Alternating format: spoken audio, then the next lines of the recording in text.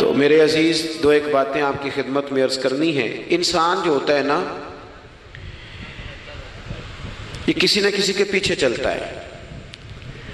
सारे लोग ही कानों के कच्चे होते हैं, बस इतना फ़र्क होता है, कुछ थोड़े ज़्यादा कच्चे होते हैं, कुछ थोड़े कम कच्चे होते हैं। इंसान अपने मिजाज के लिहाज से तकलीद करने का, पीछे चलने का मिजाज रखता है। इसकी तबीयत होती है, ये किसी की बात मानता है, किसी की सुनता है, पैरवी मिजाज होता है। कुछ लोग ये बात मानते हैं कि मैं फलाने को फॉलो करता हूँ, कुछ मानते नहीं। लेकिन सभी किसी न किसी के पीछे हज़रत शेख़ुल इस्लाम ख्वाजा कमरुद्दीन सियालवी रहमत की खिदमत में एक शख्स ने आके कहा कि आप इमाम आज़म की तकलीद न किया करें। इमाम साहब की बात ना माना करें तो ख्वाजा साहब शेख तो थे ही। तरीक़त और तसव्वुफ़ में तो अल्लाह ताला ने उन्हें दस्तरस अता फरमाई थी, वो मनतकी और फ़लसफ़ी भी बड़े थे। उस शख्स ने कहा कि आप इमाम साहब की बात ना माना करें। तो ख्वाजा साहब बड़े धीमे और बड़े मीठे अंदाज में हंस के फरमाने लगे, तेरी ये बात मान लूँ? उसने कहा, इमाम आज़म की बात ना माने तो फरमाने लगे, तेरी ये बात मान लूँ? तो बंदा गौर से देखने लग गया, आप फरमाने लगे, खुदा के बंदे, अगर तेरे जैसे बेवकूफ़ की बात मानी जा सकती है तो इमाम आज़म तो सियाबा के शागिर्द हैं। अपनी, हम ना, हमारा मिजाज है किसी के पीछे चलते। हैं हमें हमारे रब ने हमारे ऊपर रहमत कर दी, आसानी कर दी, कहा, तुम्हें रास्ता आसान बता देते हैं। लकद कान लकुम फ़ी रसूल उसवतन हसना। तुम्हारे लिए नबी पाक की ज़िंदगी में बेहतरीन नमूना है। बेहतरीन। आप पढ़े लोगों को आप किसी शख्स को पढ़ेंगे फिर उस पर जो तनकीद हो रही होगी वो तनकीद बराए तन, तनकीद हो या तनकीद बराए तामीर हो आप जब उस तनकीद को पढ़ेंगे तो कहीं ना कहीं आपको लगेगा कि इस बंदे में कबाहत भी है अल्लाह वालों को छोड़ के। लेकिन रसूल पाक सल्लल्लाहु अलैहि वसल्लम की ज़ात ऐसी है कि आप हुजूर को जिस जहद से भी पढ़ेंगे, जिस अंदाज में भी पढ़ेंगे, आपका कलेजा ठंडा होगा, दिल को इतमान होगा, जहन मुतमिन होगा और अल्लाह ताला सीने को फराखी अता फरमाएगा। हमारा चूँकि ज़्यादातर मिजाज जज्बात में रहने का है, तबीयत इस तरह की है, हम कुछ चीज़ों को बारीक बीनी से सोचते नहीं, गहराई में नहीं उतरते। रसूल पाक सल्लल्लाहु अलैहि वसल्लम को अल्लाह ने बड़ी शान अता फरमाई। हजूर को अल्लाह ने बड़ी अजमतें अता फरमाई। बड़ी। अल्लाह के रसूल सल्लल्लाहु अलैहि वसल्लम इमामुल हैं। देखे ना, कोई आदमी किसी जमात की एक छोटी सी तहसील का सदर होता है तो वो कार्ड बनवा लेता है। और उस पर उसने कई जगहों पे लिखवाया होता है कि मैं सदर होता हूँ। ये मैं दुनिया में तो लोग अपना कार्ड दे के ना तो फ़ौरन पे मेरा भी मांगते हैं। तो मैं कहता हूँ मैंने तो कभी बनवाया ही नहीं ज़रूरत ही नहीं पड़ी। कभी बनवाया ही नहीं। कार्ड की क्या ज़रूरत है? ए, अगर खुशबू हो तो वो आ जाती है उसे बताना थोड़ी पड़ता है कि मैं खुशबू हूँ। तो होता यह है कि छोटी सी तहसील का एक शख्स और किसी जगह उसे कोई नुमाइंदगी है तो वो बात करता है हम तकरीरें कर देते हैं आप लोग सुन लेते हैं। ज़रा गौर तो करें क्या कह रहा हूँ। कायनात में सबसे बेहतरीन इंसान नबी और रसूल होते हैं। और अल्लाह ने अपने महबूब पाक को नबियों का इमाम बनाया है। इस फजीलत को समझें। यहाँ ना जो लोग लाडला कहलाता है ना, कोई बंदा के मैं लाडला हूँ। वैसे यहाँ लाडले बदलते रहते हैं। कभी कोई लाडला होता है, कभी कोई लाडला होता है। वैसे यहाँ लाडले बदलते हैं। लेकिन जो लाडला होता है ना, वो बताता भी है कि मैं लाडला हूँ। और किसी का भी कोई लाडला हो जाए तो वो नाज नखरे दिखाता है, रसूल करीम और रब के लाडले महबूब है। लेकिन जो बात मैंने आपकी खिदमत में अर्ज़ करनी है, आप उस पर तवज्जो करेंगे। हुजूर इमामुलंबिया हैं, अल्लाह के महबूब हैं, नबी पाक सलाम का पत्थरों ने कलमा पड़ा है। चाँद हुजूर के इशारे पर डूबते हुए वापस लौट आया है। सूरज डूबते हुए आ गया है, चाँद के दो टुकड़े हुए हैं। ये सारी हुजूर की शान। अल्लाह ने अपने महबूब को मिराज अता फरमाई है। लेकिन मिल्लत के जवानों, आपको पता है, हमारे नबी पाक का सबसे पहला तारुफ क्या है? हुजूर का सबसे पहला तारुफ ये है कि ये सादिक और अमीन है। ये सच बोलते हैं। हजूर के उस नूर की पहली बात जो लोगों के सामने आई थी, वो ये थी कि ये सादिक हैं, ये सच्चे हैं, ये झूठ नहीं कहते। हमको पता है, रसूल पाक सल्लल्लाहु अलैहि वसल्लम से पूछा गया था, हुजूर, मोमिन कंजूस होता है? फरमाया, कभी हो जाता है। या रसुल्ला मोमिन बुजदिल भी होता है? फरमाया, कभी हो जाता है। या रसूल मोमिन झूठ बोलता है? तो मेरे करीम ने फरमाया, नहीं, मेरा मोमिन झूठ नहीं बोला करता। हुजूर का जो पहला तारुफ है ना, ये जो हुजूर की चालीस साल ज़िंदगी है ना, इसे नबी पाक सलाम ने अपनी नबूवत की दलील के तौर पर बयान फरमाया है। फरमाया, फ़कत लबिस्तफ़ी कुम उमर मिन कबल ही अफला ताकिलून? महबूब, आप इनसे कह दे, मैंने तुम्हारे बीच वक्त गुजारा है, तुम्हें अकल नहीं? को मेरी तरह का सच्चा देखा है तो दिखाओ।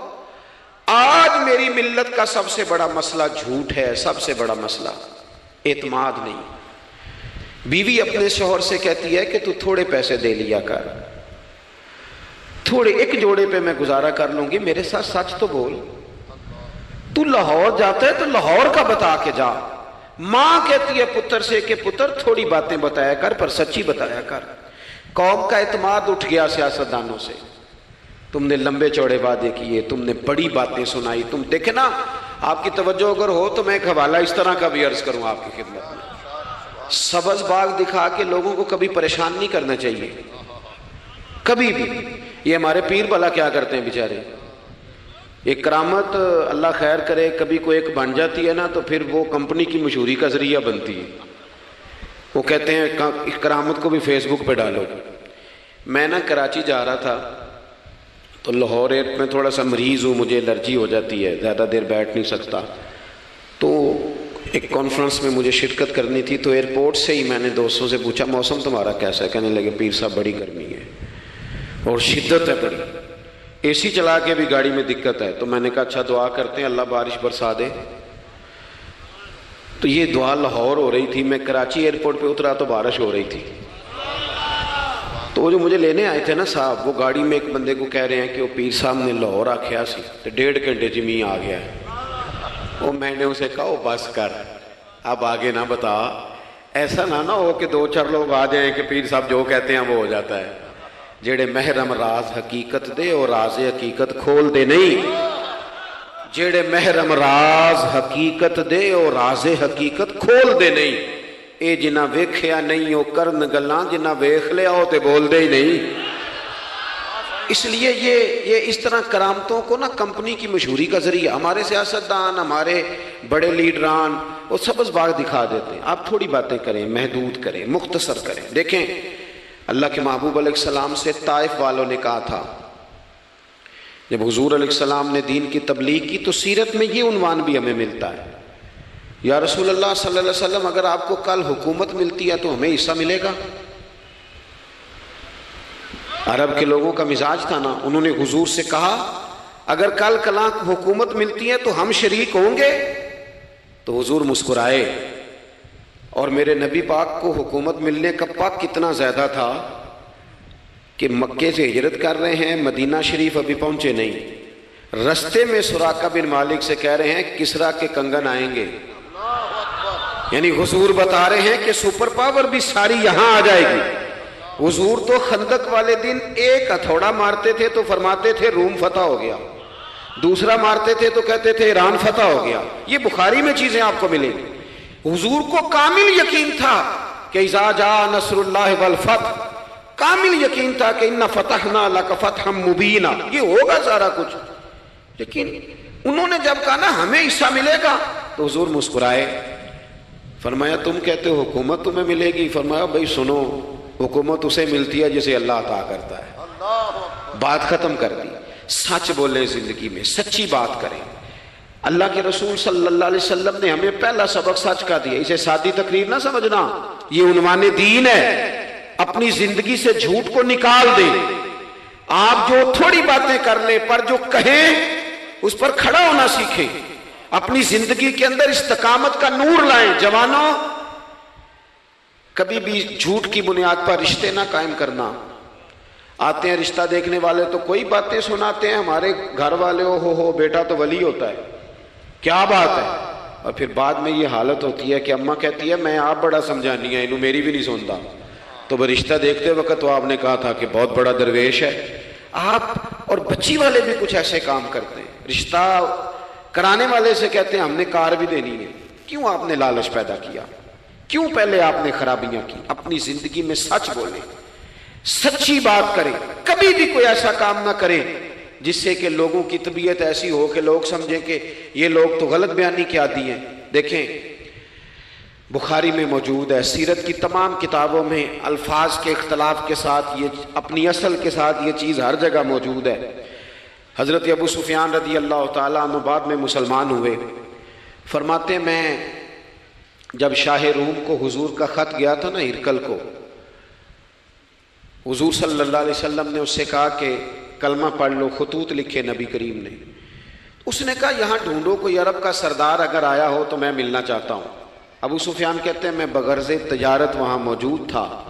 मुझे लोग पकड़ के बादशाह के पास ले गए, मैं कलमा नहीं पढ़ता था। जब कोई किसी का मुखालिफ होता है तो उसने कोई कहानी भी याद की हुई होती है। इन लोगों ने कहानी भी याद की हुई थी। माजल्ला जादूगर हैं, शायर हैं, ये कहानियाँ भी सुनाते थे। कहते हैं कि मुझे वो ले गए, बादशाह के सामने खड़ा कर दिया।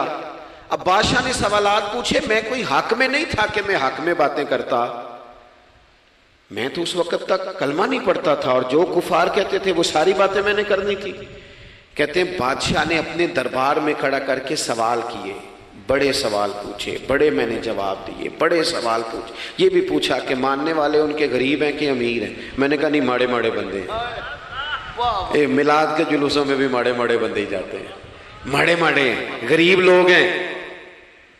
उसने ये भी पूछा कि मानने वाले बढ़ रहे हैं या घट रहे हैं? मैंने सारे जवाब दिए। ओ मिल्लत के जवानों खुदा रहा मेरी बात सुनना। अबू सुफियान कहते हैं गैरों का दरबार सवाल करने वाला भी कलमा नहीं पढ़ता, अभी जवाब देने वाला भी कलमा नहीं पढ़ता। उसने मुझसे कहा कि आपने बताया कि आप रिश्ते में चचा होते हैं, ये बताओ। वो जिन्होंने ऐलान नबूवत किया है, क्या कभी उन्होंने झूठ भी बोला है? आज लोगों ने नाम नहीं बदल दिया झूठ का। कुछ ने बहाना नाम रख दिया, झूठ का जी मैंने बहाना कर दिया था। कुछ कहते हैं जी ओ हो जी, वो वो तो मैंने तो बस ऐसे ही बात, वो तो मैंने मज़ाक किया था। झूठ के नाम नहीं बदल दिए लोगों ने। अबू सुफियान कहते हैं, मुझसे बादशाह खड़ा करके पूछने लगा, क्या कभी उन्होंने झूठ भी बोला है? अबू सुफियान कहते हैं कि, लम्हे के लिए मेरे दिल में आया, कह दूँ कि बोला है। फिर मैंने कहा, एक तो ये अरब की वजादारी के खिलाफ है और दूसरा, मैं कहूँगा वो जादूगर हैं तो शायद को एक सेकंड के लिए तवज्जो करे। मैं कहूँगा वो शायर हैं, शायद को तवज्जो करे। और मदीने वाले ने झूठ बोला, ये तो मानेगा ही कोई नहीं। सुनो सुनो, जिन चीज़ों को मामूली समझ के हमने रायज किया, वो हमारा विकार ले गई। दुनिया हम पर एतमाद नहीं करती। हम उस मुल्क में बसते हैं जहाँ जलजला भी आए। तो गैर मुल्क की इमदाद करना चाहे तो वो कहते हैं, हुकूमतों के हाथ में नहीं देंगे, खुद जाएँगे। हमारा ये हाल हो गया है कि कौम पर एतमाद उठ गया दुनिया का। हमें पलटना है, हमने देखना है। हमारा रवैया क्या है? हमारा अंदाज क्या? थोड़ी कर ले बातें, कुछ ज़रूरी है सुबह शाम बोलना? थोड़े कर ले बातें थोड़े दावे कर ले, कुछ ज़रूरी है? सुनो मेरे अज़ीज़, अबू सुफियान कहते हैं कि उसने कहा, कभी झूठ भी बोला है। मैं सोच में पड़ गया। बादशाह ने फिर दोहरा के कहा, सरदार चुप कर गए हो। मेरे आखिरी सवाल का जवाब दो। क्या कभी उस करीम ने झूठ बोला है? अबू सुफियान कहते हैं, मेरे हाथ में चढ़ी थी। मैंने वो ज़मीन पर रखी और मैं खड़ा हो गया। मैंने कहा, सरदार, सुन, वो मेरे रिश्ते में भतीजे हैं। मेरी बड़ी मुखालफत है। मैंने उनके खिलाफ जंगे लड़ी हैं। कभी वो गालिब आए, कभी मैं गालिब आया। आज तक मैं लड़ रहा हूँ। लेकिन मैं एक बात तो मैं ज़िम्मेदारी से कहता हूँ, मैं गैर नहीं हूँ, वो मेरे भतीजे हैं। मैंने उनको माँ की गोद में भी देखा है। दादा के कंधों पे भी देखा है, चचा के घर में भी देखा है, खतीजा का दूल्हा बने भी देखा है, जैनब से लेकर फातिमा तक बेटियों को गोद में खेलते भी देखा है, मैंने उन्हें बदर रोहद में आते भी देखा है, मेरे सामने पैदा हुए और मेरे सामने उनके बालों में सफेदी आई, मुखालफत अपनी जगह पर। पर मैं तुम्हें यह बात ज़िम्मेदारी से बताता हूँ उस महबूब की ज़ुबान से जो भी निकलता है, हाथ और साची निकला करता है। वो असीर दुश्मन की चाह में भी, मुखालिफों की निगाह में भी, वो अमी है, सादिक है, मोतबर है, मेरा पैगंबर अजीम तर है। मेरा पैगंबर अजीम तर है, मेरा पैगंबर अजीम तर है। अबू सुफियान कहते हैं, मैं ये लफ्ज कहे तो कितने ही लोग दरबार में रो पड़े। एक सन्नाटा छा गया, कोई सियाबी नहीं वहाँ, कोई नारा लगाने वाला नहीं, कोई अपना नहीं, लोग रो पड़े। कहते हैं, बादशाह ने चादर उठाई, कंधे पे रखी। कुछ देर सोचता रहा, फिर वो चल दिया। मैंने पीछे से आवाज़ दी, मैंने कहा, तूने इतने सवाल पूछे, मैंने इतने जवाब दिए। को रिज़ल्ट भी तो बताना क्या निकला, नतीजा क्या है? तो बादशाह ने पलट के मेरी तरफ़ देखा, कहने लगा, सरदार, नतीजा तो निकल आया ना यार। जिस बंदे बंदों से झूठ नहीं बोला। वो ये झूठ क्यों बोलेगा कि मैं अल्लाह का रसूल बन के आया इसने, ओ मेरे भाई, अपनी ज़िंदगी में सच लाओ खुदारा हमारे घरों से लेकर हुकूमत के वानों तक ज़रूरत सच की है। ज़रूरत सच की है। दूसरी बात, अपनी ज़िंदगी में ध्यानदार हो जाएँ। छोड़ दे सामने वाला क्या कर रहा है। मैं अपने इस मिंबर से ध्यानदार हूँ कि नहीं? ये मैंने अल्लाह को जवाब देना है। मैंने जितनी इज़्ज़त समेटी है, दीन के नाम पे समेटी है। मैंने अल्लाह को जवाब देना। हम सारा ध्यान दूसरों का रखने लग गए। हज़रत ख्वाजा नसीरुद्दीन चराग देलवी रहमत से बादशाह ने आके वजीफा पूछा था। हज़रत को वजीफा बताए। तो ख्वाजा साहब फरमाने लगे, अपना काम ध्यानदारी से कर, यही सबसे बड़ा वजीफा है। अपनी ज़िंदगी में ध्यानतदारी, अमानतदारी, आप इस तरह के हो जाएँ कि आप जिस तरह आप समझे ना कि ये हराम जानवर है तो मेरे मुँह में जाएगा तो मुझे उल्टी आएगी। आप कभी देखे ना कि हराम गोश्त कोई आपको बता दे, आप दो लुक में आपने खा भी लिए, लुत्फ आया तो किसी ने कान में कहा, ये तो सिवाई नहीं हुआ था बीमार था। तो उल्टी आ जाती है कि नहीं? बोलो क्या आ जाती है। इंसान का जेन कबूल करता है हराम खाने को। दो किलो गोश्त पे उल्टी आती है तो दो करोड़ रुपए पे क्यों नहीं आती? हमारे एक दोस्त हैं यूनिवर्सिटी के लेक्चरार हैं। मुझे एक दफ़ा फरमाने लगे, पीर साहब, अजीब बात है। एक बंदे को ना कहीं जूता पड़ा मिल गया, बड़ा कीमती था, पर एक पैर था जूते का। हमारी दयानतदारी कुछ इस तरह की है। एक पैर मिला, जूता बड़ा कीमती था, महँगा था तो उसने उसका मालिक ढूंढना शुरू ये किसका है, ये किसका है, ये वो शोर कर रहा है। लेकिन थोड़ा सा आगे जाके जूते का दूसरा पैर मिल गया, पर उसने मालिक ढूंढना बंद कर दिया। उसको अब उसका दूसरा पाँव मिल गया तो अब उसने यानी कई दयानतदार बड़े दयानतदार हैं, लेकिन दूसरों के मामले में। अपने मामले में नहीं, अपनी ज़िंदगी में इंसाफ करें। मैं मस्जिद में जुमा पढ़ाता हूँ। मैंने एक दिन अपने एक मदरसे के तालब इलम से पूछा, बेटा जुमे रात को मैंने पूछा, मैंने कहा, सुबह जुमे में तकरीर क्या करनी है? कहते, मैं जो फैसला नहीं किया मैं क्या तू व्डा मौलवी है ना। मैं छोटा, मैं तो जुमा पढ़ा के शाम में फैसला कर लेना, भी अगले जुमे की बयान करना है। क्यों? मैं चाहता हूँ मैं मिंबर से ध्यानदार रहूँ। मैं एक हफ़्ता तैयारी करूँ, मैंने कौम को अल्लाह रसूल का दीन बताना है। मेरा ये मकसद तो नहीं है कि एक घंटा मुझे मिले तो मैंने किसी तरीके से उसे पार करना है। आप अपने काम के साथ हमेशा दयानत का मुजाहरा करें। अगर आप दयानतदार हो जाए, हज़रत सईद बिन आमिर रदी अल्लाह तु हज़रत उमर ने कहा, मैं आपको एक सूबे का गवर्नर बनाना चाहता हूँ, रो पड़े। फरमाने लगे, इस काबल नहीं हूँ। आप कहें, मुझे भी आप कह दें कि फलाना अहदा मिलता है तो तैयार है सारी दुनिया ही. कौन इनकारी है इस काम से? सब तैयार बैठे लेकिन रोते थे लोग का जनाब, मैं मैं कहाँ कर सकता हूँ? हज़रत उमर ने लगा दिया हम्स का गवर्नर। कुछ महीनों के बाद हज़रत उमर तशरीफ़ ले गए, जाके पूछा कैसा है? तो पहले तो एक लिस्ट मंगवाई हज़रत उमर ने। कुछ माल आया है तो मुख्तलिफ़ सूबों में बांटना है। गरीबों की लिस्ट लाओ। उनके सूबे की लिस्ट आई तो तीसरा नाम गवर्नर साहब का था। वो कहा, तुम्हारा गवर्नर मिस्किनों, गरीबों में? कहने लगे, हज़रत साहब, जो लिस्ट बनाने वाले थे, वो कहने लगे, अब उनके वजूद पर जो कपड़े हैं, जगह कोई नहीं बची, पेबंद कहाँ लगाने हैं? दामान तवक्ल की ये खूबी है कि उस पर पेबंद लगे होते हैं, पर धब्बे नहीं होते। पेबंद लगे होते हैं, पर धब्बे नहीं होते। हज़रत उमर ने मालूम की, उनके सूबे में जाके, तुम्हारा गवर्नर किस तरह का है? अर्ज़ की, हुजूर, चार शिकायतें ये जमहूरियत है। आज तो हर सियासी जमात में डिक्टेटरशिप है, आज कहाँ जमहूरियत है? आज तो आप जितने शाह के वफादार हो जाएँगे, उतना अच्छा अहदा लेंगे। जितना मर्ज़ी काबिल बंदा हो जमात के अंदर। लेकिन अगर वो पूरा ताबेदार नहीं तो निज़ाम नहीं चलता। जितना मर्ज़ी काबिल हो। हज़रत सईद बिन आमिर रदी अल्लाह तहो चार शिकायतें, आम आदमी शिकायतें कर रहे हैं। हज़रत उमर ने कहा कौन कौन सी?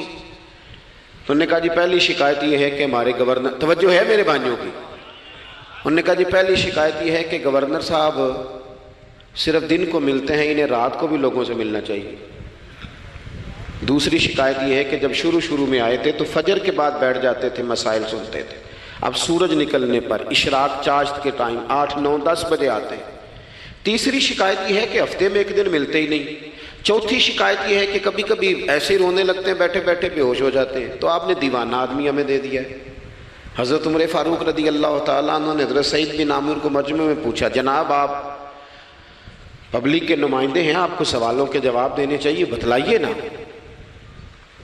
और ये पब्लिक के नुमाइंदे सिर्फ़ सियासतदान नहीं होते, पीर साहिबान भी होते हैं। मस्जिद का खतीब भी होता है। अगर हज़रत उमर से पूछा जा सकता है, कुर्ता कहाँ से आया तो पीर साहब से भी तो पूछा जा सकता है ना। उनको भी जवाब देना चाहिए, उनको भी बताना चाहिए। इसलिए कि वही तो दावा कर रहे हैं फ़क्र बताने का।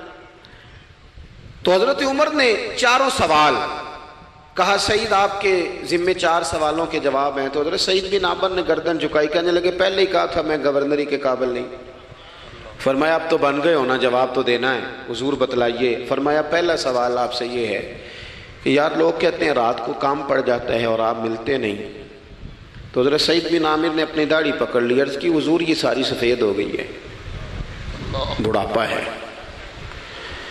दिन मखलूक के लिए रखा है, रात अपने रब के लिए रखी हुई है। अगर फिर भी किसी को शौक हो तो सईद बिन आमर जब भी मिलेगा, मस्जिद में मिलेगा। सारी रात बारगाह रबूबियत की आ, ओ संगियो, थोड़ा मुसल्ला भी यार मज़बूत कर लो। थोड़ा सा ना। हम ना थक गए हैं फ़ोन सुन सुन के। बहुत सारे लोग ऐसे हैं जिनके वजूद नहीं इतनी थके जितने दिमाग थक गए। कमेंट्स पढ़ के, कमेंट्स दे के, राय दे के बड़े बड़े बासलाहियत लोगों के हाफजे कमज़ोर हो गए। खुदारा अपनी सलाहियतों को जंग लगा लोगे। ये तो जितने लोग हैं मीडिया चलाने वाले, इनको तो मीडिया चलाना है। और अब तो पता नहीं कितने चैनल और कितने लोग और सोशल मीडिया पे कितने और इधर कितने तो उधर कितने खुदारा कुछ वक्त अगर मुसल्ले पे मिले तो आप यकीन करें रूह ताज़ा हो जाती है। लंबी लंबी दुआएँ मांगे, अपने रब को अपने दुख सुनाए। रसूल पाक की बारगाह में ये नजराने पेश करें। आप महसूस करेंगे वजूद ताकतवर हो गया। हज़रत सईद बिन आमर कहने लगे, रात मुसल्ले पे गुजारता हूँ। दूसरा सवाल आपसे ये करना था कि ये लोग कहते हैं कि आप पहले फजर में आ जाते थे, अब इशराक चाश्त के बाद नौ दस बजे निकलते हैं। तो हज़रत सईद बिन आमर ने गर्दन झुकाई, कहा यह मेरा राज था, मेरी प्राइवेट बात थी। कहा, जनाब, अब तो लोगों का सवाल है। तो आप फरमाने लगे, मेरे घर में खादिम कोई नहीं, गरीब आदमी बीवी बीमार हो गई है। पैंतीस साल उस वफादार औरत ने मेरी ड्यूटी की है। बीमारी में छोड़ दूँ तो वफादारी तो नहीं ना। सवेरे उठता हूँ, घर का काम करता हूँ, फिर बीवी के लिए नाश्ता बनाता हूँ। उसे खाना खिलाता हूँ, तैयारी करते आते देर हो जाती है। दूसरे सवाल पर लोग रो पड़े। कहा, तीसरा एतराज़ आप पे ये है कि हफ़्ते में एक दिन मिलते नहीं तो हज़रत सईद बिन आमिर कहने लगे, मैंने कहा था मेरा पर्दा ना खोला जाए। मैं बड़ा राज़ी हूँ रब की अताओं पे।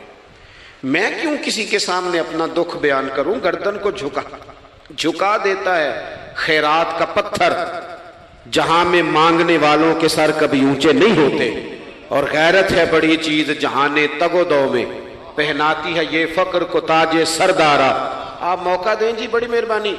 छोड़ दें जी, थोड़ी थोड़ी, एक मिनट सिर्फ़ जी, हमें दें। बोले नहीं, प्यार से जी, नाराज़ नहीं होना। आप हमें मौका दें बात भी अब तकरीबन करीब होने के करीब आई। कहा, हज़रत सैदना सईद बिन आमिर रदी अल्लाह तला ने फरमाने लगे, मैंने कहा था, ये मेरा पर्दा है। ये ना सुनाया करें आप दुख लोगों को। ये गरीब कहते हैं, मैं किसी अमीर के साथ लग जाऊँगा तो कुछ बनने कुछ भी नहीं बनता। छोड़ दें आप। दुखड़े रब रसूल को सुनाओ। खैरात भी मिलेगी और इज़्ज़त भी मिलेगी। वो देंगे और किसी को बताएँगे भी नहीं। हज़रत सईद बिन आमिर रदी अल्लाह तु से तीसरा सवाल हुआ। कहा, जनाब, आप हफ़्ते में एक दिन मिलते नहीं तो फरमाने लगे, मेरा राज था, पर बता देता हूँ, जोड़ा एक ही है मेरे पास। हफ़्ते में एक दिन धो लेता हूँ, फिर बीवी के कपड़े पहन के सारा दिन बैठा रहता हूँ। अगर दूसरा जोड़ा हो तो ये काम न करूँ। हज़रत उमर रो पड़े, का जल्दी से चौथे सवाल का जवाब भी दे। कभी कभी रोते हो तो बेहोश हो जाते हो, वो फिर रो पड़े। अर्ज़ करने लगे, हुजूर, चालीस साल की उम्र में कलमा पड़ा मेरे सामने हज़रत खुबैब को फांसी दी गई मक्के में। जब वो अपनी पिछली गलतियाँ याद आती हैं तो फिर रो पड़ता हूँ। याद माजी अजाब है यार अब मैं तकलीफ़ में आ जाता हूँ, सोचता हूँ, अगर अल्लाह ने सवाल किया तो कैसे जवाब दूँगा? इसलिए बर्दाश्त नहीं होता तो रो पड़ता हूँ। चारों सवालों के जवाब दिए तो हज़रत सईद बिन आमिर कहने लगे, अब आपने मुझसे सवालों के जवाब तो ले लिए, अब मेरी सज़ा का भी तो ऐलान करें ना। बताएँ ना। तो हज़रत उमर ने हाथ उठाए और क्या लफ्ज़ कहे कहे, अल्लाह, मेरे नबी की उम्मत को इस तरह के कुछ और लोग भी अता फरमा। कुछ अपनी ज़िंदगी में दयानतदार हो जाएँ। तीसरी बात आपकी खिदमत में अर्ज़ करनी है। रसूल पाक सल्लल्लाहु अलैहि वसल्लम ने ना हमें खालिज किया है। हुजूर का सारा दीन इखलास इखलास का दर्ज देता है। ये जो रियाकारी होती है ना, नौजवानों मेरी बात पे गौर करना, ये जो रियाकारी होती है ना, ये बुनियादी तौर पर अदाकारी होती है। अदाकारी बंदा ज़्यादा कर नहीं सकता, थक जाता है। मुखलिस ज़िंदगी वो होती है जो आप नॉर्मल जीते हैं। मुखली साहब होते हैं जब आप अपनी वालदा के पास नहीं बैठे होते। आपने जब फाइव स्टार होटल में रोटी खानी है ना तो फिर आपको पेट प्लेट के साथ टिश्यू पेपर भी साथ रखना पड़ता है। फिर राज के रोटी खाई भी नहीं जाती। राज के कब खाई जाती थी? मैं एक जगह मुझे कुछ बड़े अच्छे होटल में रखा गया और मुझे बड़ा उन्होंने मोहब्बत की। तो जब मैं लौट रहा था ना वापस पाकिस्तान तो मुझे कह रहे थे, आपको मज़ा तो आया होगा। मैंने कहा, नहीं जी। सच पूछें तो फिर ये है कि मज़ा जब भी आता था जब अम्मा सवेरे रोटियाँ पकाती थी। वो कहती सी पुत्र है पीड़ा ना इतने कोल ही ले आ। तो उसके पास बैठते थे तो फिर अम्मा जब सालन देती थी तो कहती थी, होर नहीं हो मिलना। दूजिया भी देना है। और फिर लुत्फ उस वक्त आता था, जब बार बार कहते थे, अम्मा जी, चलो थोड़ा जाते थे होना होना। थोड़ा सा तो फिर अम्मा कई दफ़ा कहती थी कि मैंने वो उससे निकाल के फ्रिज में रख दिया, बड़े भाई ने काम से आके रोटी खानी है। अब ये बर्तन है, इसी को साफ़ कर ले। ओ भाई मैंने अपने अब्बा जी को देखा, खुददारी कर। मैंने एक दिन उनसे पूछा, मैं क्या अब्बा जी तो पसंद की है? हम पढ़ते थे ना इंटरव्यू अखबारों में तो दो चार सवाल हर बंदा पूछता था। अब तो इंटरव्यू ज़्यादा लोग लेते हैं तो अब तो कभी इतना मौका ही नहीं होता किसका सुने, क्या करें? ये तो छोड़ दिया काम। अखबार में कभी इंटरव्यू आता था तो मुसज्जा मुकफ़ा होता था। लिखने वाले भी अच्छे अदीब होते थे। जुमले चुभते नहीं थे तबीयत। तो दो चार सवाल बड़े ज़रूरी होते थे, फूल कौन सा पसंद है, खाने में क्या पसंद है, रंग कौन सा पसंद है, ये दो चार सवाल हर एक से होते थे। मैंने अपने वाली साहब से एक दिन पूछा, मैं क्या अब्बा जी तो पसंद किए तो फरमान लगे, पुत्र, जे तो लगी हो भुख तो फिर हर तो जिन्ना लगी हो तो फिर नखरे ही नखरे ने। तो इसलिए भूख लगी हो, वो हमें पता क्या बताते थे? मैं आज भी ना बहुत सारी चीज़ें गाड़ी में रख लेता हूँ। आज भी जो खाना अपनी मर्ज़ी से खाता हूँ, वो पेट भर के खाया जाता है। जो तस्वीरों की शिद्दत से बाहर होता है, वो खाया जाता है। उसको आप आप कबूल कर लेता आपका वजूद। याद रखना मेरे अज़ीज़, मेरे नबी पाक सल्लल्लाहु अलैहि वसल्लम ने फरमाया है, बेहतरीन रोटी वो है जो तू अपने हाथों की कमाई से खाता है। वो बेहतरीन रिस्क है जो तो और हजूर ने फरमाया, अल्लाह के नबी हज़रत दाऊद मेहनत करके खाना खाते। दावतों पे जा जा के तो बंदा बीमार रहने लग जाता है वो तो काम ही खत्म हो जाता है वाली साहब कहा करते थे कि लो मैं पा दिते ने ਤੁਹਾਨੂੰ ਦਾਣੇ ਪੜੋਲੇ 'ਚ ਤੇ ਮਾਂ ਤੁਹਾਡੀ ਨੇ ਤੁਹਾਨੂੰ ਚਾਰ ਪਾ ਦਿੱਤਾ ਹੈ ਲੋ ਹੁਣ ਤੁਹਾਨੂੰ ਪਰਵਾਹ नहीं सारियां गर्मियां मौज करो ये असल था हमारा इस पे वापस आ जाएं इस पे आ जाएं ये सेहत अफजा रोटियां ये खाएं बड़ी गाड़ियों का और बड़ी चीजों का शौक छोड़ दे मेहनत डट के करें लेकिन ज़िंदगी असल पे ले आए, असल ज़िंदगी खालस होती है। मेरे नबी पाक सल्लल्लाहु अलैहि वसल्लम ने फरमाया, रियाकार, मैं पूरी हदीस नहीं सुनाता, इशारा करता हूँ। जूर ने फरमाया, रियाकार अगर आलिम भी हो, रियाकार अगर सखी भी हो हत्या कि सही हदीस में फरमाया, रियाकार शहीद भी हो, और मारी जाए इस नीयत से कि लोग मुझे शहीद कहेंगे तो फरमाया, सुबह कयामत अल्लाह इन अमाल पर भी अजर अता नहीं करेगा। अपनी ज़िंदगी में इखलास पैदा करे और जब खुलूस आता है, जब लिल्लाहियत आती है, मुश्किल तरीन खिलाफत हज़रत अबू बकर सिद्दीक की है। ये जो हज़रत उमर ने बड़ी आला खिलाफत की है ना, ये बुनियादें हज़रत अबू बकर ने मज़बूत करके दी थी फितनों के तो सर कुचल दिए थे हज़रत सिद्दीक अकबर ने। अब हज़रत उमर के लिए काम करना उन्होंने आसान कर दिया था। मैं अक्सर कहा करता हूँ कि हज़रत उमर की खिलाफत की मजबूती में बड़ा किरदार हज़रत अबू बकर सिद्दीक का है। अगर वो मजबूतियाँ ना करते, इतनी तगड़ी तो काम आगे चलता नहीं था। हज़रत सैदना अबू बकर सिद्दीक को बड़े फितनों का सामना था। ख़त्म नबूवत के महाज पर काम करना है, मुनकरीन जक़ात पैदा हो गए। उम्मत को संभालना है। ये सारी ड्यूटियाँ करके ना दुनिया सो जाती थी। वो दुनिया सो जाती थी और हज़रत सिद्दीक अकबर एक नामीन नाबीना माई के घर में झाड़ू देने चले जाते थे। जब बंदा मुखलिस हो जाता है ना, एक नाबीना माजूर और झाड़ू दे रहे हैं। जब थोड़ा सा वक्त बचता ना, असर के लिए ये टाइम मैंने अपने लिए रखा हुआ है। तो मदीना शरीफ में एक बेवा थी जिसकी पाँच छह बेटियाँ थी, बेटा कोई नहीं था, उसके घर जाते थे, बकरियों का दूध धो के आते थे। मामूली आदमी नहीं, खलीफ है वक्त की बात। किस लिए? ये काम रूहानी तसल्ली का बायस बनते ये काम आपको सुकून देते ये जी, ये ये आपके अंदर वो ताकत पैदा करते हैं कि आप लड़ सकते हैं दुनिया से। जब आपके पीछे दुआएँ होती हैं तो फिर मैदानों में खड़ा रहना आसान हो जाता। हज़रत उम्र फारूक फरमाते हैं, तीसरा दिन था जनाब सिद्दीक अकबर के विशाल को। मैं मस्जिद नबी शरीफ में बैठा था। तो दो तीन छोटी छोटी बच्चियाँ आ गई। आके कहने लगी चचा आप खलीफा बने मैंने कहा हाँ, हमारे साथ चलेंगे। मैंने कहा पुत्र तुम्हारे साथ क्या है? कहने लगे अबू बकर सिद्दीक असर के बाद हमारे घर आते थे। हमारा भाई कोई नहीं बाप इंतकाल कर गए। बकरियों का दूध धो के दे जाते थे कुछ बेच के गुजारा कर लेती थी कुछ पी लेती थी। तीन दिन से मेरी माँ रो रही है। मेरी बहनें रोती हैं। अखा जदों मीटियाँ जमाना मैनू रोवेगा। उंज ते बेकदरा कुछ कदर न जाती की खूब तसली हो।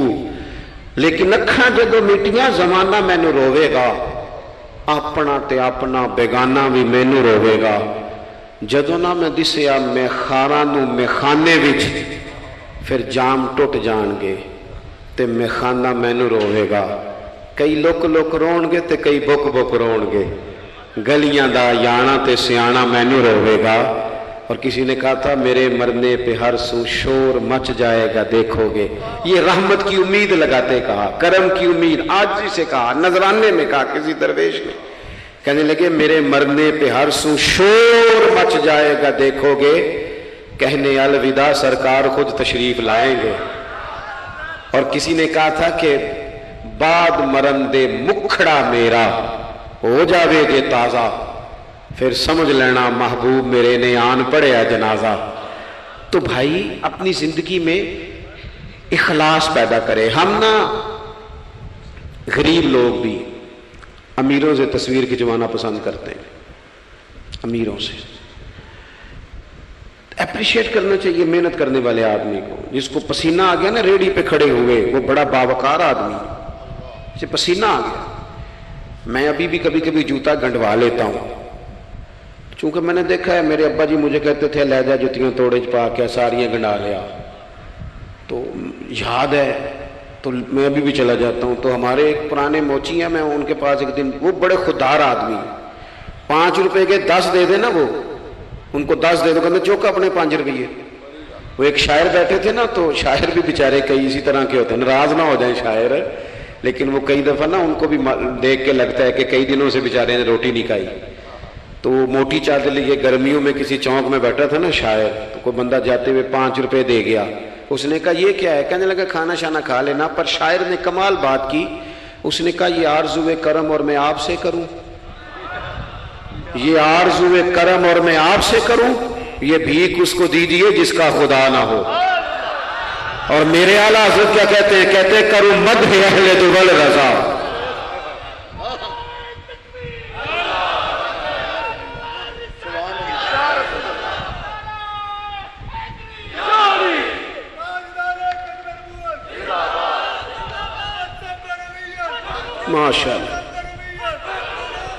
आप हजरात मेरी बात सुनेंगे, अपनी ज़िंदगी में इखलास लाएँ, लिल्लाहियत लाएँ। चौथी बात सुने, और मैं इसी पर बात समेटने की कोशिश करूँगा। अल्लाह के रसूल सल्लल्लाहु अलैहि वसल्लम की सीरत मुबारक में जो चीज़ आपको बड़ी नज़र आएगी ना, वो एहसास है। जब सीने आहिस्ता आहिस्ता सख्त होने लग जाते हैं ना, हम ना कुछ बातें सोच के अपने आप को सख्त कर लेते हैं। हमारा जब ऐसा जो नया भर्ती होता है, वो खिदमत के जज्बे से आता है। वो कहते हैं, मैंने सारे काम सही करने हैं। फिर उसको ना आहिस्ता आहिस्ता पता लगने लग जाता है कि कुछ लोग झूठा पर्चा भी दर्ज कराते हैं। उसे फिर आहिस्ता आहिस्ता पता लगने लग जाता है कि ये सामान इनका तो गया था, डेढ़ लाख का तो इन्होंने छह क्यों लिखवाया है? फिर को जब, वो फिर सख्त होने लग जाता है। लोगों को देख के सख्त ना हो। सख्त ना हो। फिर आपके पास बड़ी बातें, मुझे एक दफ़ा एक साहब ने कहा, आपको तकरीर पे बुलाना पैसे कितने लेते हैं? मैंने कहा, दे दो को डेढ़ दो करोड़ रुपया। कहने लगे तो बहुत ज़्यादा नहीं तो मैं क्या विकना है तो फिर बंदा चार्ज ना विके। अब तेरा ख्याल है पच्चीस, तीस हज़ार अपना रेट लगवा ले। इतने लो हो जाए, सानू तख्त हजारे की लोड़ की है। नाले की लगे शहर बमोल के नाल, असि अपनी बाल के सेकने मैंने बहुत बड़ा मदरसा शुरू किया, बाहर गला नहीं लगाया। मुझे एक साहब कहने लगे, खैर तो है तो हम पैसे कितों आते ने? मैं क्यों उतों जितों आते नज़र नहीं आते फाजले बरेल भी कहते करो मद है अहले दुबल रजा, और पड़े इस बला में मेरी बला। मैं गदा हूँ अपने करीम का। मेरा दीन पा रहा है, ना नहीं। और कौन देता है देने को मुँह चाहिए? देने वाला है सच्चा। हमारा मैंने तो माजरत भी करनी थी। मेरा ख्याल है कि 35 से सैंतीस के बीच लोग ऐसे थे, यहाँ से, जो आज सुबह से सरे शाम तक फ़ोन करते रहे। कि आपने चाय हमारी तरफ़ नहीं है? खाना हमारी तरफ़ खाना है। मैं इन दोस्तों से अक्सर कहा करता हूँ जो मेरे साथ होते हैं। मैं कहता हूँ कि लोग तलाश करते रहते हैं, ढूंढते रहते हैं कि रात रहने को जगह मिले। और हमारा ये हाल है, किस नाम पे? रसूलुल्लाह के दीन के नाम हजूर के दीन के नाम अपनी ज़िंदगी में एहसास पैदा करें। अगर आपको, आप सख्त हो सकते हैं, कुछ भी कह के सख्त हो जाए, कुछ भी कह के। मुझे मेरे संगी कहते रहते हैं, सात आठ घंटे का आप सफ़र करके जाते हैं तो आप फ़ोटो वालों पर सख्ती करें। आपके किसी से नहीं मिलना, मैंने ज़रा आराम करना है, मैंने थोड़ा लेटना है। तो मैं कहता हूँ, यार, अपनी औकात भी तो हमें देखनी चाहिए थी। कौन किसी को मिलता है? कुछ और है। एहसास पैदा करें कौम का। अपने दिल में एहसास लाएँ। जब आप सख्त हो जाते हैं ना तो फिर आप सबके लिए हो जाते हैं। जब बंदा सख्त हो जाता है ना थोड़ा थोड़ा ना हमें लालची बनाया गया है। मुख्तलिफ़ चीज़ों पर इनाम रखे गए, मुख्तलिफ़ रंगों में लोगों को मुख्तलिफ़ अंदाज में कायल किया गया, मिजाजों में कुछ भरा गया है। वो इस तरह का माहौल बन गया कि बाप ने जवानी पुत्र को दे दी। सारी ज़िंदगी वो, जो लोग सऊदी अरब यहाँ से गए थे, पैंतीस साल उन्होंने वहाँ कंबल नहीं बदला। जिस कंबल में उन्होंने जाते खरीदा था, वापसी पे भी वही था। रिहायशें यहाँ बनी, वहाँ नहीं बनी। मैंने बैरून मुल्क ऐसे लोग देखे हैं जो तीन वक्त रोटी नहीं खाते, दो वक्त खाते हैं, कि घर पैसे भेजने। लेकिन लालच इतना उरूज पे चला जाता है बाज घरों का, सबका नहीं बाज का, कि उसी बाप को जिसने ज़िंदगी लगा दी, बच्चे कह रहे होते हैं, अब्बा जी, आपको ढब का काम कर लेते तो आज हमारे बारे ने अरे ना हो जाता। मुझे एक बुज़ुर्ग फरमाने लगे, पीर साहब, बाला को भी इज़्ज़त करा ली, अब्बे का मालदार होना ज़रूरी जे। खुदा रा इससे बाहर आए, एहसास पैदा करें। जब एहसास आ जाए, कुरान मजीद ने मेरे नबी पाक की शान ये बयान की है कि अज़ीज़ माँ अनिल तुम हरीसन अलैकुम बिल मोमिनीन ये कमाल है। इससे आगे क्या कोई हाशिया दे सकता है? रा फरमाता है, लोगों, तुम मुशक्कत में पढ़ो तो मेरे नबी को तकलीफ़ होती है। आप कभी हदीसें पढ़े ना तो रोंगटे खड़े होते हैं। आपको दर्जनों हदीसें इस उनवान की मिलेंगी। कि हुजूर फरमाते हैं, मेरा दिल करता है, लंबी नमाज़ पढ़ाऊं। नमाज़ अल्लाह की। दिल हुजूर का करता है। फरमाया, दिल करता है, लंबी नमाज़ पढ़ाऊं, लेकिन पीछे से किसी बच्चे के रोने की आवाज़ आती है। किसी बूढ़े बीमार का ख्याल आता है, मैं नमाज़ छोटी कर देता हूँ। हुजूर फरमाते हैं, मेरा दिल करता था, हर वज़ू के साथ मिसवाक ज़रूरी करार दे दूँ, पर तुम्हें तकलीफ़ होगी। नहीं ज़रूरी करार दे आप एहसास की शिद्दत तो देखें फरमाया, मेरा जी चाहता था कि मैं तहजद अपनी उम्मत पे ज़रूरी करार दे दूँ, लेकिन मैंने अपनी चाहत नहीं देखी, गुलामों तुम्हारी नींद देखी है। वो दोस्तों, इतना एहसास, दुश्मन जब काबू आते हैं ना, मैंने एक और भी अर्ज़ कर दी है चलते चलते जो सियासी फिरका वारियत है ना, आज मुल्क के अंदर, आप जिस जमात को ठीक समझा आपने, आप वहाँ चले गए। जिस जिसने जिसको ठीक समझा। लेकिन हम सबसे पहले मुसलमान हैं, उसके बाद पाकिस्तानी हैं। हमें इखलाकियात का दायरा कभी नहीं छोड़ना। इख्तलाफ के भी आदाब होते हैं। इख्तलाफ जिससे भी करें, दलील की हद तक करें। उसकी ज़ात तक उतर के नहीं महजब कौमें ये काम नहीं करती। हज़रत अबूजर अबू अयूब अंसारी ने हज़रत उमर से इख्तलाफ किया और सख्त किया। कहा, जनाब, ये आपने हज़रत उमर को बात करने लगे तो हज़रत अबू अयूब अंसारी खड़े हो गए। कहने लगे, यहाँ हज़रत अबू जर गिफारी खड़े होकर कहने लगे, ना आपकी बात मानेंगे, ना आपकी इतात करेंगे। फरमाया, मैंने क्या किया है? तो कहने लगे चादर तो एक एक बटी थी तो आपने उसी चादर का कुर्ता, उसी का तामत कैसे बना लिया? हज़रत उमर फारूक ने उन्होंने सवाल किया था, हज़रत उमर ने दलील दी। फरमाया, मेरे बेटे से पूछ लो। हज़रत अब्दुल्ला इबन उमर कहने लगे, एक चादर चूँकि मुझे भी मिली थी, मैंने अपने अब्बा को दे दी। लिहाजा कुर्ता भी बन गया। और अब हमारे यहाँ ना दलील मिलने पर भी लोग एतराज़ नहीं छोड़ते, क्योंकि जाती होता है ना, दलील तक तो इख्तलाफ होता नहीं। ओ, मेरे भाई, इख्तलाफ के भी आदाब होने चाहिए। तो किसी ने कहा था कि ताल्लुक तोड़ देने के भी कुछ आदाब होते हैं। किसी को छोड़ देने के भी कुछ आदाब होते हैं। और किसी ने कहा था कि कातिल को कोई कत्ल के आदाब सिखाए। देखो, दस्तार के होते हुए सर काट रहा है। कोई एक चीज़ छोड़ दे। हमारे यहाँ इतनी शिद्दत हो गई और बच्चे हमारे वर्कर, सियासी जमातों के खुदारा। आपने यही बसना है, यही रहना ये आपके अपने लोग हैं। मेहरबानी करें आप। आप ज़रूर हाईलाइट करें किसी की गलती। लेकिन दायरा तहजीब कभी ना छोड़े। कभी मुझे तो एक दो एंकर एक दो दफ़ा मिले। मैंने उनसे कहा, मेहरबानी करें आप। क्या मज़ा ले रहे हैं आप कौम को तकसीम करके? खुदारा कुछ सोचे। आपका शुगर लगा हुआ है और यहाँ गरीब का ये हाल है कि ये अभी ईद आ रही है ना? हमने भी कुछ नेकियाँ बंद कर दी हैं बाद चीज़ों पे। ये रमज़ान शरीफ गुजरा ना? मेरे जैसे आदमी को लोग नेक समझते हैं और अपने दुखड़े सुनाते हैं। ये रमज़ान गुजरा है तो बेटियों की शादियाँ शुरू हुई हैं। अब अब लड़कों वाले तो नेक हो गए, अब तो वो जहेज ही नहीं मांगते। ये खबर पता है आपको? मुंडे वाले दाज मंगना छड़ता जे। वो नेक हो गए। वो कहते असं तो को जहेज नहीं लेना, बस छे सौ बंदे की रोटी पकानी तुम तो सही पकानी जे मुंडे तो यार इको बारी आना है कभी नहीं रोटी खाई, लड़के के दोस्तों ने अपने घर। रमज़ान में खुलकर सखावतें करने वालों, रमज़ान के बाद भी सोचा करो, और राशन वंडन वाले लोग ईदों बाद भी भुख लग दीजिए। ईदों बाद भी भुख लग दीजिए रमज़ान में सवाब ज़्यादा है, लेकिन सखावत तो सारा साल ही है। तो कुछ चीज़ें ऐसी हैं, हमें हज़रत सैदना उम्र फारूक ने जब जवाब दे दिया ना कि इस तरह है, अब वो इख्तलाफ दलील तक था, इख्तलाफ दलील तक था तो हज़रत अबू यूबन सारी उठ के खड़े हो गए। इतराज किया, जवाब मिल गया तो पता क्या फरमाने लगे? कहने लगे, उमर, रब तुझे मेरी तरफ़ से बेहतर सिला दे। अब तू हुक्म कर, हम सुनेंगे भी और तेरी इतात भी करेंगे। अब हम आपके पीछे चलेंगे अमीर मोमिनीन। तो दलील तक रखें चीज़ों को। दलील मिल जाए तो बात को खत्म करें। तो मेरे भाई, एहसास अपनी तबीयत में जब हम पैदा करने लगेंगे, एहसास बड़ी मुश्किल है गरीब की ज़िंदगी। अमीर तो दोस्ती अमीरों से लगा लेता है। जब इंसान अपनी गाड़ी में सफ़र करता है तो फिर वो किराया पाँच रुपए बढ़ जाए तो उसे तकलीफ़ कोई नहीं होती, क्योंकि उसे पता ही नहीं। बहुत सारे अमीरों को तो पता ही नहीं कि घी महँगा हो जाए तो घर के बजट पे बोझ कितना पड़ता है, उन बेचारों को तो पता ही नहीं तो वो उस एहसास को कैसे पैदा करेंगे? वो नहीं कर सकते। उसके लिए वहाँ से गुजर के आना पड़ता है।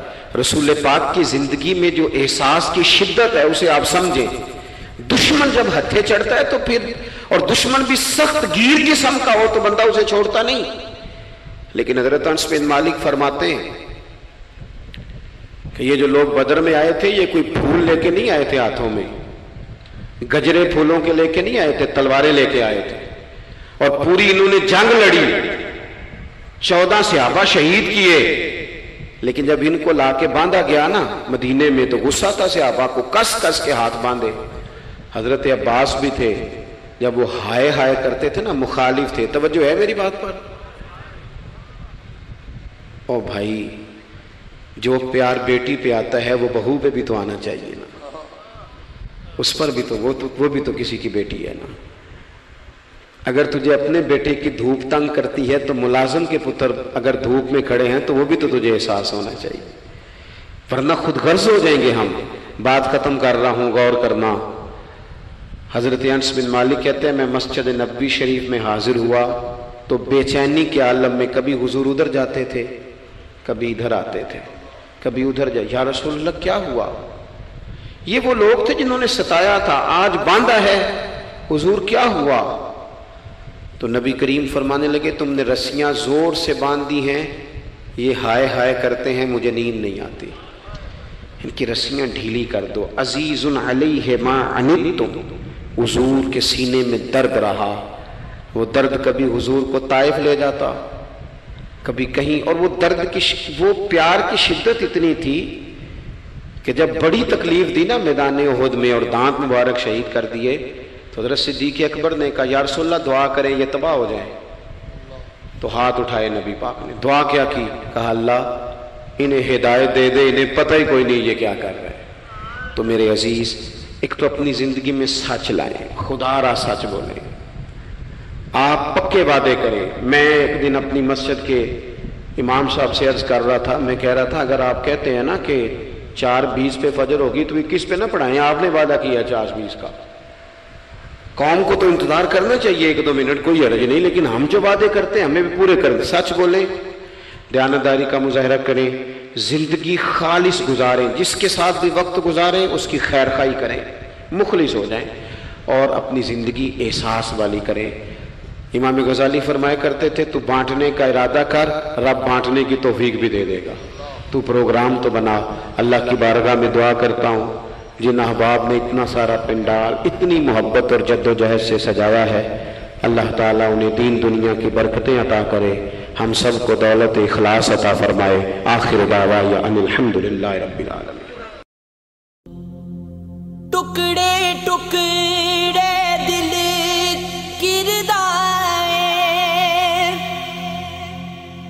की बस्ती दिल की सदाएँ। खुद को देखूँ तू दिखता है। मेरी आँखें